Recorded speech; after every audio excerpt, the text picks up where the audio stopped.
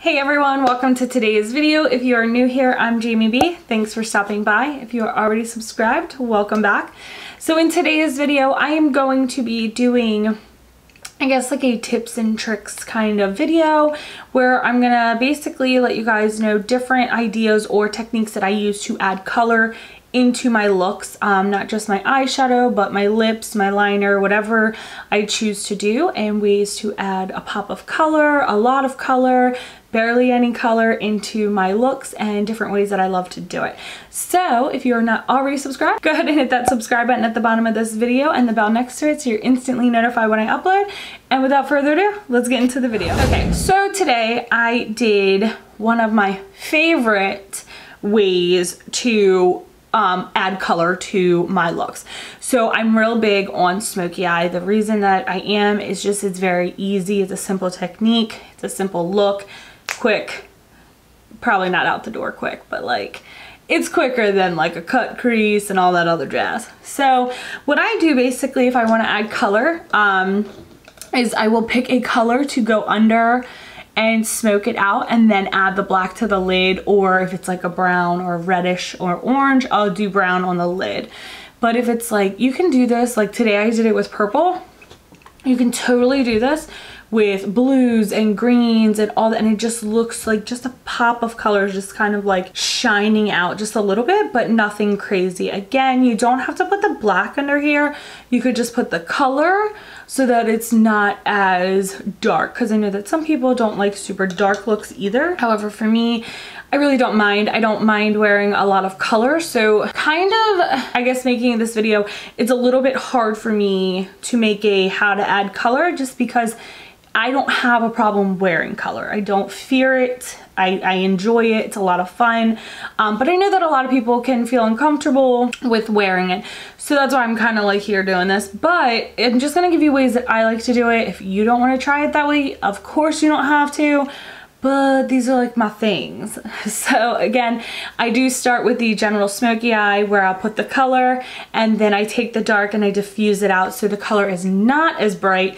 This purple, I actually have the palette here because I wanted to show you, it's the Morphe 15S. And this purple right here, uh, it was this purple and then this pink mixed together. So besties and influencer mixed together and then I put that on there and I took the black and just smoked it out. Now I like to go a little extra so I put it on the bottom as well and bring it down and then just put some of that black on the lash line and some liner to really pull it together. However, if you didn't want to do that, you wanted to just have it more color, less dark, then instead of the black, just put that color that you smoked out up here just bring it around. So you'll just have the purple for instance around. So it'll still have that dark smoky look so it makes the color less intense.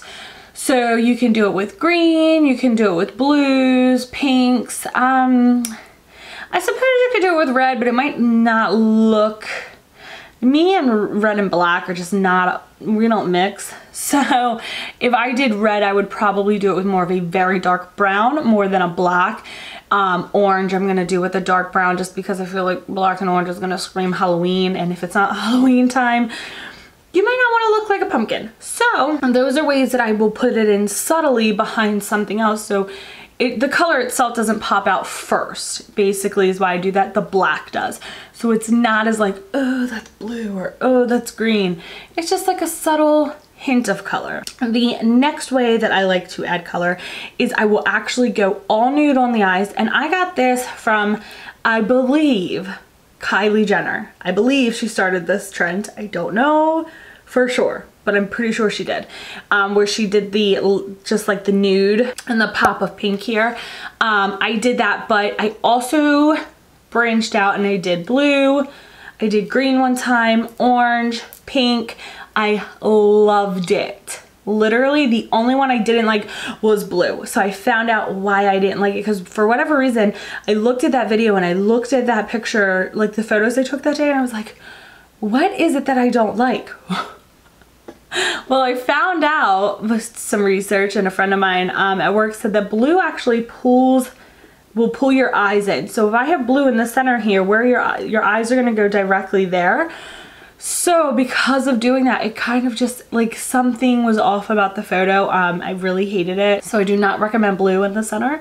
Um, if you want to try it, then of course, by all means.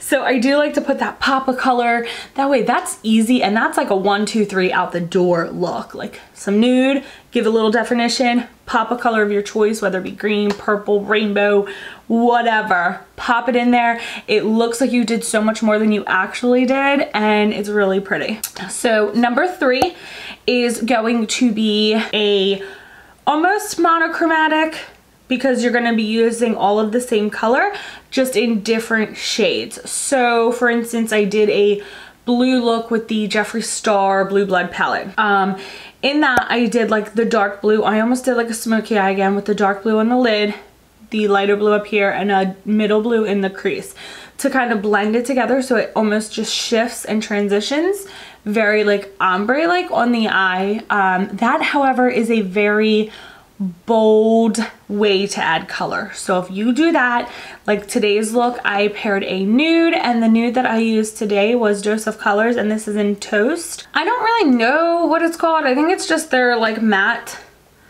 lipsticks. It's literally just a tube lipstick. Um, it's crazy to close. Like I get it all over the lid all the time. But it is in the color Toast. So whenever I do that, if I'm going to do that bold of a color where I stay in the same color family, I just tend to shift up. So from dark to light to give it some definition and just to really pop. I, however, will not do a very bold lip because I feel like then it could be a little too much. So when I did that, I did wind up doing a blue lipstick as well and it was pretty and it's it's very like artsy and nice to take photos with but really probably not your best bet to go into the office with or you know your job. Um if that's if you can or you're comfortable doing that then it's totally up to you but I just for me having blue all over my face is not really my favorite thing to do. Um, but when it comes to lipstick, if I wear a colorful lipstick, which I love colorful lipsticks, um, so I have a couple here, but so I have these two, but they're not actually for my lips, so I'll tell you what I use them for. So just for instance, like these colors, I know that a lot of people are kind of like, I don't or blues. I have blues, I have teals. Obviously, I have a lot of different choices in lipsticks. Um, blacks even. I know that black isn't really a color, but I have a lot of bright, bold, like in your face lips. If I do that, I will usually do just like a natural eye, just like a nude color, give it some, either some shimmer or maybe I will do like two different tones of browns or nudes on my eye just so it has some definition and it's not just like one color. Um, just so it like that's like one of my favorite is having a like a bold pop lipstick it's an easy way to add color it's more comfortable I feel like because I feel that like crazy color lipsticks are going to be more acceptable or acceptable acceptable than crazy blue yellow green hot pink eyeshadow. So, and again, that's just my opinion. I just love having a nice bold lipstick. So if I do that, I will not do a crazy bold eye. However, that takes me to my next option, which is, and I hope these help you, like I really do, comment below and let me know because I started to like write these down and then I started thinking because when you do things like day to day, you don't really take into account like the things or techniques that you do. So when I had gotten a request for something like this, I was like, I don't really? I don't know. But and then it started to just come to me. Um they did want to see me do a look and so they could recreate it but I felt more like I guess being informational more than being technical. So that's why I went with how to incorporate colors. So leading me to my next one is going to be if you do um, back to the monochromatic, a nude lip, you can always take one color, like orange is my favorite to do this with, and just basically smoke it out all over the eye from the lid up here. So from the lid, not all the way to your brow bone, but where that purple ends, and just smoke it out so make sure it's not just, you know, sitting there. It's It, it looks nice, it's smoothly applied. Um, and then I will put a regular lip, whether it be nude or whatever color goes with the color I chose. But literally, it's one shadow. And then one of my favorite, and you guys have seen it many a times, is I like to take a pencil brush, which is just a pointy dome shaped brush. My favorite is the Morphe one and this is, er, this is an old one because it doesn't have it on here, but it's a pencil brush. So the technique I know I like to do other than just the pop of inner corner, uh, the pop of color in my inner corner is actually taking this and sweeping color under the eye. So on the bottom lid here, what I usually do is, um, that's where I put my most, like my pop of color the most, is that inner corner and underneath because it's easy, it's not too frightening. So it's kind of like stepping you into color.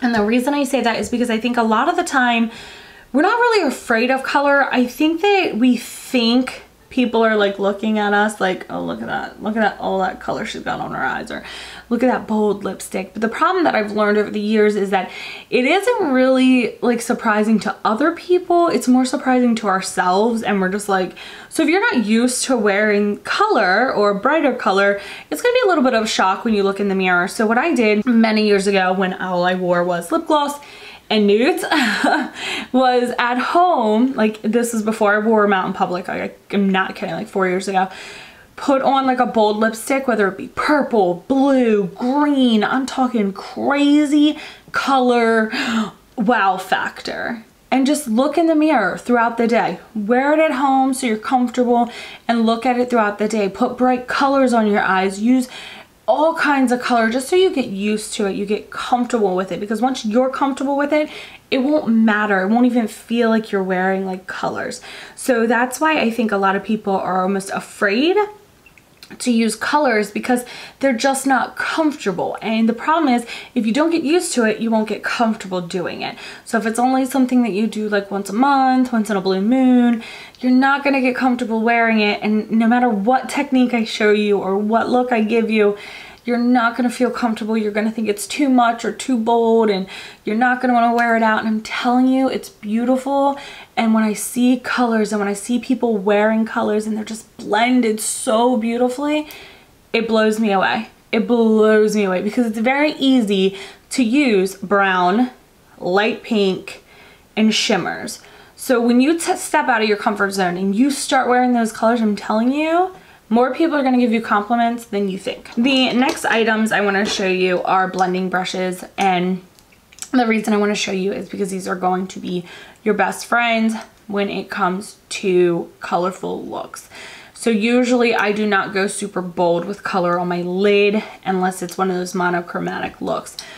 For instance, um, I'm not just going to take a flat brush and take this color right here and just throw it on my lid and walk out the door. I'm not gonna do that. That's not okay. Don't do that. Um, I'm gonna buff them out. I'm gonna buff them out, I'm gonna transition them, I'm gonna use a nude to diffuse them so that way they are still beautiful, but tamed, controlled. Um, but these are like some of my favorite ones. I have the Morphe 5 M514 which is a smaller one to get for under the eye, like I like to do. It's one of my favorite things to do, to diffuse that color. Just so it's there, but it's just barely there. The um, JS5, and the reason I grabbed this is literally because it is like the other Morphe brush, and I can't remember what, I have some in there, but it's my favorite Morphe brush, and I think the only thing different is the handle. Don't think the brush is any different. However, this cost me way more money. So it was just the first one I picked though. And then the Morphe 505, which is more of a dense one to add that smoky texture to your eye. You don't really want to go in straight with like a whole boatload of color here because it'll be harder to disperse. You can always do crazy, artsy, beautiful looks if you want. Um, it, it really is up to you. Uh, I do recommend just Google searching the color wheel because that it really helps you out a lot because there are certain colors that you're like yes these are going to be so beautiful but then you put them together and they kind of blend out yucky or they just don't really give you the look that you want to achieve so again you could just google color wheel and it will literally tell you everything you could probably youtube it and there's probably tons of people who have like what colors go with what, you know, and again, there's no rules to makeup. So I'm not saying you can't have this color with this color, but there are guidelines that kind of help you make it easier. So I don't mind doing more colorful looks on my channel. If that's what you want, then I want you to go ahead and tell me below so I know. Um, I just want to get these techniques out first, these ideas, these thoughts to you before we start doing like a color looks. Because the problem is, if I sit here and I go, okay, I'll do a color look, and I pull out the Blue Blood palette, which the problem is, a lot of people buy them and they don't use them. They're like, I don't know, I just don't use this. We don't use it because you're not comfortable with the colors. So if you're not comfortable with the colors, you probably don't want to start with a big palette like that. There's a lot of palettes that I like that are colorful. Surprisingly enough, the James Charles palette is one of them. Um, it has a lot of color in it. BH Cosmetics has some and I hate that company. Um, I hate that company. If you're not new here, I had a really big problem with their customer service. So I'm not really a fan. I don't have any of their products I probably never will just because to me, customer service is everything. So if I come to you and I'm real crappy um, about whatever I'm telling you, you're probably not going to listen to me. You're probably not going to care for me or follow me because guess what? I have a crappy attitude. So it was like that. But Morphe, like I'm not an affiliate. This is not sponsored. However, they have my go-to colorful palettes they just do. Um, that's what they're they're they're pretty known for like their colorful palettes. Um, I think ColourPop has some pretty good ones but when it comes to like real vibrant colors Morphe's gonna be where it's at and I think this was like $15 so you get all these bright purples and pinks and shimmers and oranges and greens. Actually this is a weird layout of color but you get all of these shadows for $15 so for me it's totally worth it. If you get the bigger ones, it's a little bit more. I think it's like 35. If you get the collabs, I think they can range from like 39 or up. I do have the Jeffree Star one. I did like the colors in that as well. If you guys have any questions about any of the things that I said, techniques on how to do it, if you want a video explaining them, then I totally, totally will. So basically that is it for today's video. Um, I just wanted to kind of give you guys a brief, I guess, like list of ideas or things or ways however you want to put it that I use color or I incorporate color into my looks. Um, again it can really be anything. You can use lip liner you can use color mascara whatever you're comfortable with. There's so many ways than just doing a nude look. I have a lot of friends who they buy these palettes and they don't do anything with them because they don't know how to use color or they're not comfortable or they think that it's too much this or too little that. And I'm telling you get comfortable in what you love play with it even if you're going nowhere play with it sit in front of the mirror and just throw it on your face because at the end of the day that's how you're gonna learn how to do it and that's how you're gonna learn how to really apply it to your face is practice practice practice look in that mirror and tell yourself I'm comfortable I'm beautiful and I freaking love this color Alright guys, I hope you enjoyed this video. I hope it was helpful. Make sure you give it a big thumbs up. And as always, I will see you on the next one. Bye!